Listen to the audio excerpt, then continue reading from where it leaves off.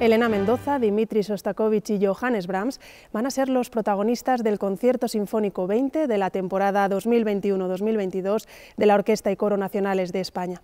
Un viaje del siglo XXI al siglo XIX que comenzará con el estreno absoluto de la obra Still Even Meet Orquesta, que podríamos traducir como Naturaleza Muerta con Orquesta, de la sevillana Elena Mendoza. Una pieza intimista que sublima el sonido de objetos cotidianos junto a la formación orquestal. Y después escucharemos dos obras que ponen de manifiesto la gran influencia de las estrategias compositivas del barroco en épocas posteriores, como es el caso del primer concierto para violín de Sostakovich y de la Sinfonía número 4 de Brahms. Decía John Cage que donde quiera que estemos lo que oímos es en su mayor parte ruido. Cuando lo ignoramos nos molesta, pero cuando lo escuchamos lo encontramos fascinante. Desde finales de la década de los años 30 del pasado siglo XX, compositores e ideólogos vanguardistas y experimentales como John Cage empezaron a proponer un uso diferente de los instrumentos musicales convencionales a través de lo que se conoció como técnicas extendidas, así como la musicalización de sonidos del entorno. El uso de objetos cotidianos como instrumentos musicales es el punto de partida de Naturaleza Muerta con Orquesta de la compositora española afincada en Berlín, Elena Mendoza, quien fue galardonada con el Premio Nacional de Música en 2010.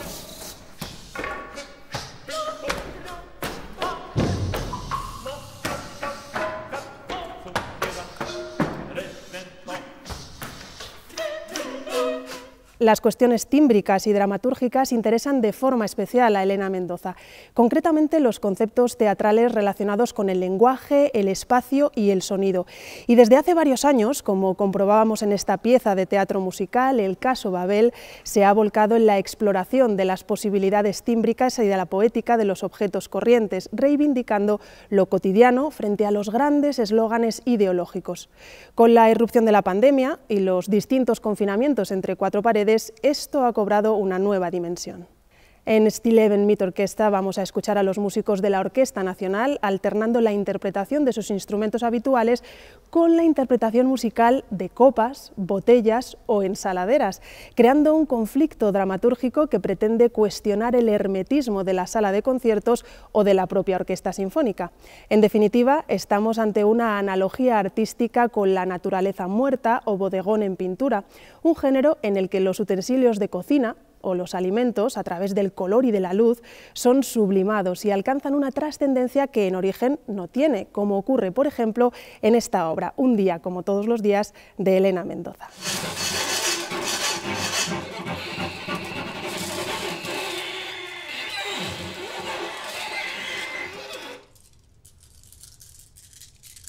A un contexto histórico bien diferente nos va a llevar el concierto para violín y orquesta número uno de Sostakovich. La trayectoria del compositor ruso estuvo marcada por la alternancia de etapas de enaltecimiento con periodos de dura crítica oficial, incluso de prohibición de sus obras.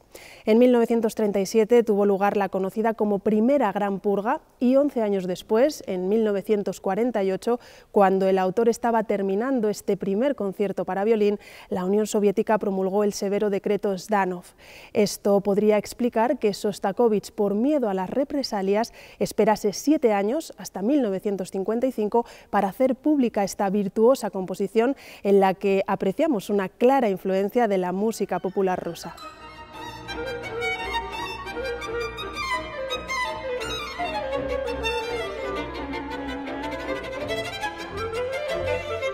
Este concierto se estructura en cuatro movimientos, cada uno de ellos con un título muy concreto a modo de suite.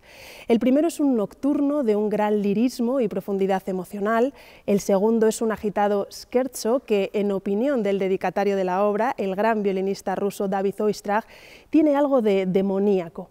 En esa segunda sección, además de la famosa firma musical de Sostakovich, encontramos reminiscencias del folclore, al igual que ocurría en la burlesque final que antes escuchábamos. Y el tercer movimiento nos remite a la pasacaglia barroca, una danza que se construye sobre un tema que se repite continuamente en el bajo. Sobre él, el violín solista desarrolla esta expresiva melodía.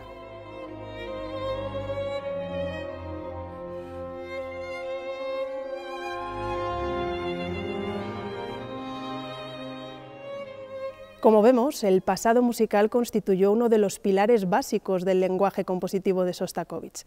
Bueno, pues en el caso de Johannes Brahms, la tradición fue siempre el origen de todo, pero en ocasiones se convirtió en una carga difícil de soportar.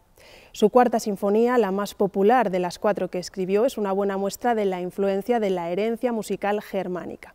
Fue concebida durante las vacaciones que Brahms disfrutó en Mürzislag, en los Alpes de Estiria, en los veranos de 1884 y 1885.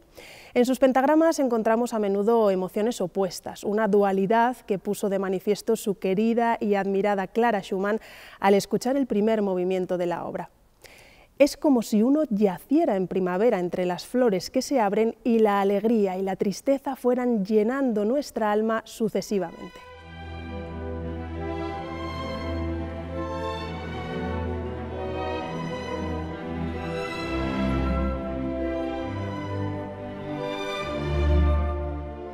El tormento y la nostalgia tan típicamente brahmsianos ganarán la partida al final del anhelante primer movimiento Allegro non troppo. Y en el segundo, Andante moderato, llegará el momento de la reflexión.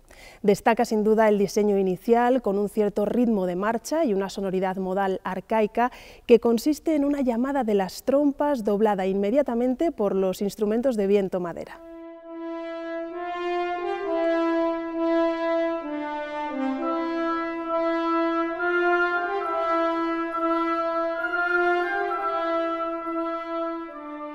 El soplo de aire fresco llega por fin en el jovial tercer movimiento, alegro y ocoso. La orquesta al completo presenta el motivo principal, este diseño robusto, enérgico y rústico.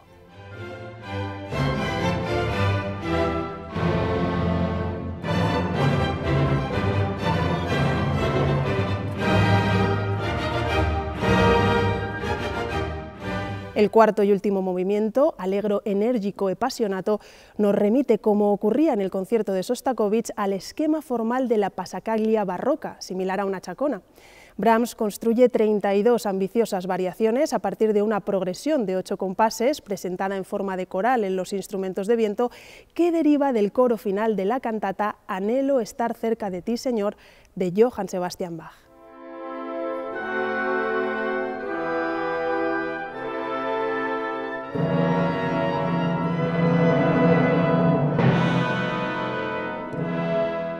A través de tu yo espiritual vibran armonías celestiales. Tú dejas a la humanidad una herencia de un valor incalculable, le decía el violinista Joseph Joachim a su gran amigo Brahms.